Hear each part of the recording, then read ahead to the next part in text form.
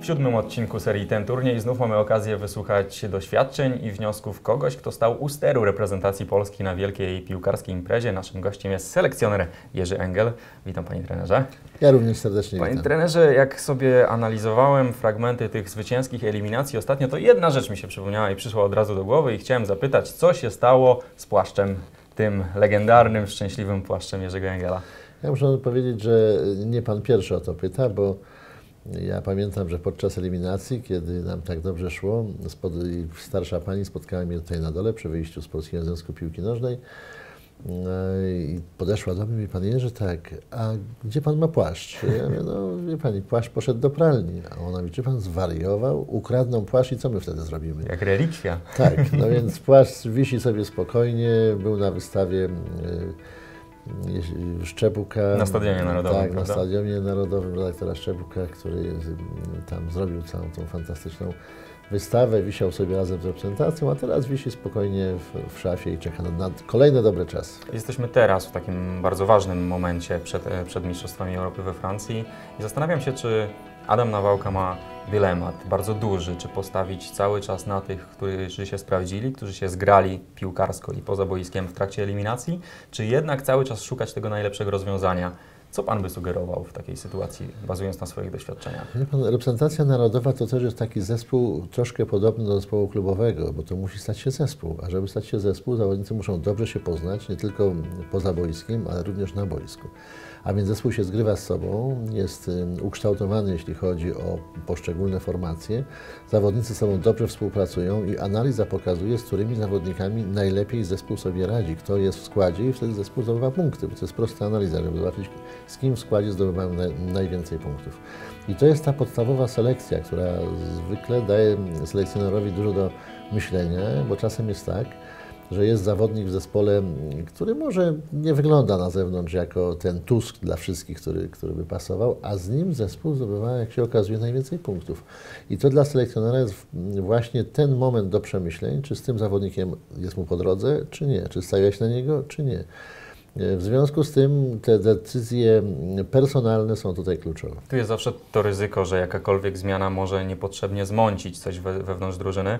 Wiele się mówi o tym, już z, nasz, z rozmów tutaj w tym studiu wynika taki wniosek, że Pana drużyna z eliminacji, a ta, która pojechała na mistrzostwa, to były totalnie dwie inne ekipy. Zresztą po meczu z Koreą sam Pan im to powiedział na, na odprawie pomeczowej. Czy ma, może Pan wskazać jakiś taki jeden moment, kiedy, kiedy ta me- metamorfoza się dokonała, kiedy, kiedy to się zmieniło wszystko? Czy, czy Tak, jedną okoliczność? Oczywiście. Tym momentem był awans do Mistrzostw Świata. To była ta zmiana, z tego względu, że e, dzisiaj oczywiście nam jest trudno w to uwierzyć, bo mamy inną reprezentację, mamy inne realia. Mamy młodą drużynę, która jest cały czas głodna sukcesu i będzie szła do góry. Ja przypomnę, że w tamtym czasie, kiedy ja objąłem reprezentację narodową, właściwie ja miałem generację piłkarzy w większości, którzy kończyli swoje kariery, którzy przez całą swoją karierę piłkarską i nie tylko klubową, ale właśnie reprezentacyjną, walczyli o to, żeby gdzieś się zakwalifikować, żeby gdzieś zaistnieć w dużej imprezie, co byłoby wielką nagrodą dla nich za ten wkład, który dali dla reprezentacji narodowej wcześniej, ale nie udało się. I po 16 latach niebytu nigdzie, myśmy awansowali do Mistrzostw Świata, do najtrudniejszej imprezy piłkarskiej, jaka w ogóle istnieje. Mało tego, do mm, imprezy, która była rozgrywana zupełnie na innym e, kontynencie, ze zmianą czasową, zmianą klimatyczną itd. A więc można powiedzieć, że w tamtym czasie m, przed tymi piłkarzami stanął niesamowicie trudny problem. Jak przygotować się do takiej imprezy? I mimo to, że myśmy bardzo uczulali cały sztab nasz, każdego z piłkarzy, że jeśli zmarnuje pół roku przed imprezą, to my nie zdążymy przygotować się do imprezy w samej e, tej końcówce, w tym BPS-ie, e, tuż przed mistrzostwami, żeby kogokolwiek przygotować dobrze, bo mamy bardzo krótki czas. Ale ci kluczowi, Świerczewski, Kałużny, Wałdoch, Hajto, Dudek, y, Kryszałowicz, Olisa Debe, oni grali regularnie, nawet w tym ostatnim półroczu. Tylko się zastanawiam się, czy... Tak, nie- nie ale doc- wymienił Pan tutaj dwóch zawodników, którzy grali w klubach, które y, walczyły o utrzymanie w Bundeslidze. Gdyby Pan ich przebadał wtedy, jak wyglądali przyjeżdżając na zgrupowanie, to by się Pan bardzo bo byli to mocno wyeksploatowani piłkarze. Oni właściwie powinni tylko odpoczywać, a nie przygotowywać się do jeszcze cięższej imprezy, bo te Mistrzostwa Świata są szalenie ciężką imprezą. E, I każdy następny mecz jest jeszcze trudniejszy i z przeciwnikiem jeszcze cięższym. Dlatego y, powtarzam, że był to zbyt krótki czas wtedy, żeby móc dobrze przygotować piłkarzy. Oczywiście byli tacy gracze, którzy byli w świetnej formie, jak Olisadebe, jak Krzynówek, jak Żurawski, jak Paweł, y, o którego Pan wymienił, ale była grupa piłkarzy, którzy no, nie, na pewno nie byli tak przygotowani, żeby można powiedzieć, są optymalnie przygotowani do mistrzostw. Mówił tu Marek Koźmiński z drugiej strony o tym, że błędem wtedy było wrzucenie wszystkich do jednego worka. Rzeczywiście? To był błąd? No, Chodzi mi o przygotowanie fizyczne. Tak, ale jeśli ma Pan 4 dni, no bo nikt nie pamięta, żebyśmy byli tylko 4 dni w Niemczech. Przyjechaliśmy tutaj, zagraliśmy jeden mecz przed wyjazdem z Estonią. Yy, Następnie yy, były dwa dni odpoczynku, niedziela, poniedziałek we wtorek odlatowaliśmy do Korei. Natomiast w Korei wiadomo było, że po zmianie klimatycznej, yy, zmianie czasowej nie można pracować, jeśli chodzi o organizm na, dużych, yy, na, na dużym wysiłku. Stąd tylko był jeden mecz z mistrzem Korei i właściwie bardzo delikatne, lekkie retusze treningowe, żeby zespół dobrze przygotować do, do tych pierwszych meczów. Bo Wy się wtedy, tak mówił Marek, nastawialiście na 30 dni grania w piłkę. Rzeczywiście? Tak było? Myśleliście już o tych dalszych Była fazach? grupa nas, a przede wszystkim mój sztab i kilku na pewno zawodników, którzy chcieli zrealizować swoje marzenia. Nie tylko za, zaistnieć na Mistrzostwach Europy, żeśmy, na Mistrzostwach Świata, że tam się dostaliśmy, ale przede wszystkim rozegrać parę dobrych meczów, wyjść z grupy i powalczyć o Zabrakło więcej. pragmatyzmu troszkę? Można Nie, powiedzieć? nie, nie, nie. Zabrakło czegoś zupełnie innego. To znaczy, zabrakło tego, tej umiejętności poświęcenia się dla zespołu, którą mieliśmy w eliminacjach. Bo to było zupełnie coś innego. A potem, U zawodników w domyślam się, Yy, tak? Tak. Nie u wszystkich, ale była na pewno grupa zawodników, która, która po prostu z góry założyła, że jest to tak trudny turniej i że Mistrzostwa Świata nie zdobędziemy, a więc może po tych trzech meczach się pojedzie do domu, to będzie ok. I Pan to widział przed pierwszym meczem już, To znaczy że po- niektórzy po pierwszym po pierwszym meczu. Ja miałem odprawę z zawodnikami Mhm. po pierwszym meczu, na której to jasno zawodnikom powiedziałem, że to jest, y, niestety zmieniło się w tym zespole mentalnie. To jest ta sama drużyna, ale nie taka sama. Tak, było to jest ta sama to drużyna, ale nie, nie taka sama. Widzi Pan, ja pamiętam po meczu zremisowanym tutaj w Warszawie, kiedy myśmy grali z Walią po dwóch zwycięstwach, po bardzo ciężkich meczach. Wydawało się, że Walia jest najprostszym przeciwnikiem, okazała się najtrudniejszym. Zremisowaliśmy. Jak oni wpadli do szatni, to chcieli rozerwać tą szatnię na strzępy. To, to byli tak wściekli, że nie udało się wygrać, że trudno było ich powstrzymać. I to było to, A po Korei? o co mi chodziło w tym Tak, zespole. po Natomiast Korei, tak. Mistrzostwa Świata już były zupełnie czymś innym i myślę, że dopiero y, ten drugi mecz, mimo najwyższej porażki, bo przegraliśmy 4 do 0 y, z Portugalią, był dobrym meczem. Piłkarsko był dobrym meczem. Ja, ja lubię ten mecz. Tam pękło serce zespołu po, po drugiej bramce, kiedy sędzia nie uznał nam bramki na 1 do 1, wpadła druga i wtedy można bardzo wysoko przegrać. Tak się dzieje z, w sporcie zespołowym. Natomiast ten trzeci mecz z Ameryką, z USA, zwycięski 3 do 1, pokazał rzeczywiście y, charakter tej drużyny. To, że nie, nie popełniłem żadnego błędu, powołując tych zawodników, którzy w tym meczu No, zagrali. ale w nim zagrali na zupełnie mistrzostw- inni Tak, ale widzi Pan, tam było sześciu zawodników, którzy nie grali z nami w eliminacjach. Mhm. A więc można powiedzieć, że ta nasza selekcja była bardzo skrupulatna, bardzo dobra i nie, po, po, nie popełniliśmy w niej żadnego To błędu. może warto zamieszać rzeczywiście przed pierwszym meczem, skoro ci nowi okazali się tak, tak no ale dobrzy. widzi Pan z, drugiego, z drugiej strony, gdyby Pan był selekcjonerem i ktokolwiek nas w tej chwili ogląda, gdyby Pan nie wystawił Jurka Dudka do bramki, gdyby Pan nie wystawił tych piłkarzy, no daję Jurka Dudka jako przykład, prawda?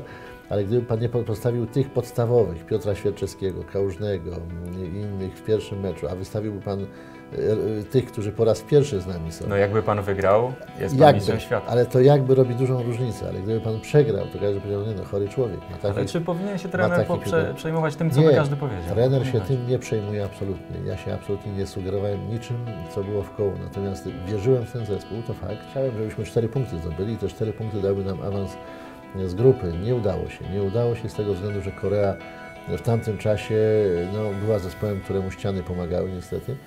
I w naszym meczu też te ściany im pomogły. Choć nie tak ewidentnie. Ewidentnie, ewidentnie, ponieważ pierwsza bramka jest po y, akcji y, po spalonym, który jest pokazywany przez Bocznego, że jest spalony. Główny sędzia tego nie, nie respektuje, jest wrzut z autu. Naprawdę? Tak, tak było? i po wrzucie z W autu. przekazie i telewizyjnym? tak? wrzucie, no to jak pan dokładnie może, ja mam kasetę oficjalną, A więc to jest tam bardzo to ciekawa sprawa. Tak, natomiast to, co się działo z Kałużnym, kiedy mu nie dano wygrać praktycznie ani jednego pojedynku główkowego, no to śmiesznie brzmi, bo Kałużny jest taki wysoki jak my dwaj razem, a potem świetnie grał głową, a, a niscy Koreańczycy wisieli na nim, prawda, i wszystko mu zabierali. Sędzia nie reagował i, i w wielu innych przypadkach podobnie. Niemniej jednak mm, to fakt, że myśmy nie docenili gospodarzy, bo, bo to była jedyna rzecz, która mm, nas zaskoczyła tam, bo myśmy obserwowali bardzo dokładnie wszystkie mecze. Był Edward Kleidins, który jeździł po wszystkich kontynentach, obserwował wszystkie mecze każdego zawodnika i doskonale wiedzieliśmy, w jakiej formie jest Korea. Dopiero właściwie ostatni mecz, kiedy pojechaliśmy podczas już mm, naszego pobytu w Korei, oni grali ostatni mecz przed mistrzostwami z Francją. I tam zobaczyliśmy realną Koreę. Tam ta Korea rzeczywiście grała fantastyczny mecz. Szeroko Pan otworzył oczy, mam wrażenie I wtedy. w tym momencie taka, ja pamiętam tę ciszę w autobusie, jak wracaliśmy z tego meczu. Oglądaliście Wszyscy całą byliśmy, drużynę. oczywiście. Wszyscy wracaliśmy z tego meczu i była cisza. Ja nie lubię ciszy w autobusie, właśnie w takim momencie. Autobus zawsze żyje, jest wesoło, są żarty, tam słychać coś z tyłu się dzieje. A tymczasem była cisza, bo wszyscy zdali sprawę, na jakim poziomie tutaj trzeba zagrać, na jakim poziomie trzeba rzeczywiście grać, żeby mieć w ogóle szansę zaistnieć na tych mistrzostwach. Jedna rzecz mnie zaskoczyła w Pana książce. Prosta piłka, którą napisał Pan tuż po tym wyjeździe Nie, do... nie, prosta gra. Prosta gra, prosta gra, możliwe, to mój błąd. E, Na tak długie turnieje, licząc również czas przygotowań, piłkarze powinni zabierać swoje rodziny. Nikt nie wysiadywałby przy internecie i mielibyśmy o wiele więcej spokoju. To jest aktualna wskazówka? Wie pan, teraz jest internet, już wszyscy rozumieją.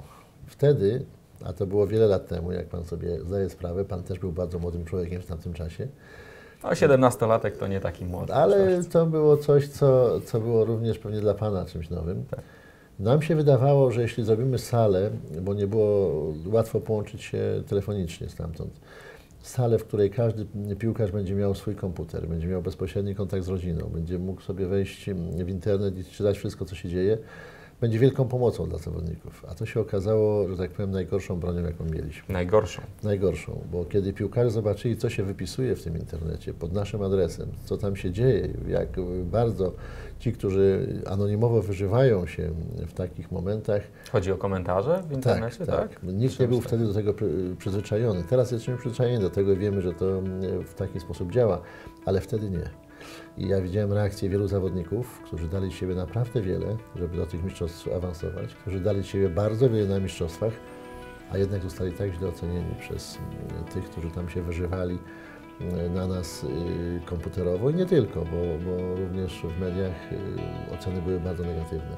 Czego Pan życzy Adamowi Nawałce? Spokoju wewnątrz drużyny przede wszystkim? Bo u Was troszkę turbulencji się niestety zdarzało. U nas były turbulencje, bo to Pan dobrze powiedział, bo wtedy się wszyscy wszystkiego uczyli, również marketingu PZPN się uczył. Nikt nie wiedział, że piłkarze są nagle tak Chodliwym dobrym towarem. towarem marketingowym, również selekcjoner. Ja przecież też znalazłem się na różnych reklamach, nie wiedząc nawet, że na nich jestem, bo to nie były moje reklamy, tylko właśnie Polskiego Związku Piłki Nożnej.